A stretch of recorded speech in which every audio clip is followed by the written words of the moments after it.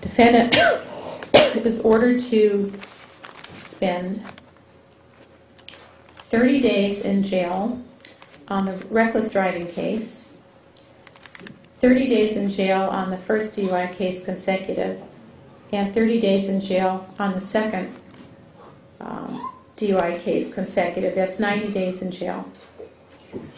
The court is also going to order Dr. Sharma, or appoint Dr. Sharma and Malinak, Kaushal Sharma and Hai Malinak, to interview the defendant because within two days of her release from jail, she's ordered to report to probation and she's ordered to do a 90-day inpatient substance abuse program. And I want Dr. Sharma and Malinak to indicate to the court and write a report to the program, I'm sorry, as to probation, as to the type of program that would best benefit her. I also want the doctor to interview her and determine if drinking alcohol and the prescription drug medications she's taking will cause her um, injury and um, compromise her health and safety. The court is also going to order that the original order of um, the conditions of bail, that she not drink any alcohol, will remain as now a condition of probation.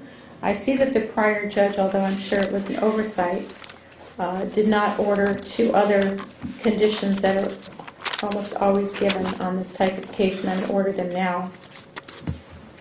Um, Just a moment.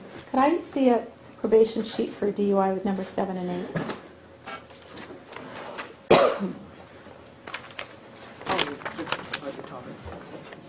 No. Defendant is ordered not to drive any vehicle with any measurable amount of alcohol or drugs in her blood, or refuse to take and complete any blood alcohol, drug, chemical test, field sobriety test, preliminary alcohol screening test, when requested by any peace officer. She's not to drive a motor vehicle without a valid driver's license and insurance in her possession.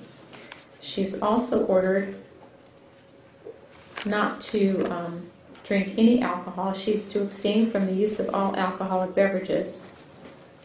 And she, as I indicated, is ordered to report to the Santa Monica Probation Office at 1725 South Main Street within two days of her release from custody.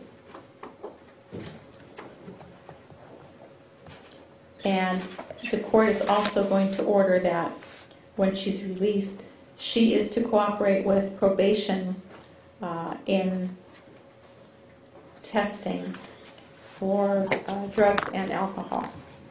And that will be uh, up to the probation department how often the um, drugs and alcohol testing will occur. We are give her time to Yes. surrender. I was going to have her surrender today you give her time to come back to surrender? Well, this SCRAM bracelet will remain on until she surrenders. Okay. Do you understand accept the terms and conditions of your probation? Yes.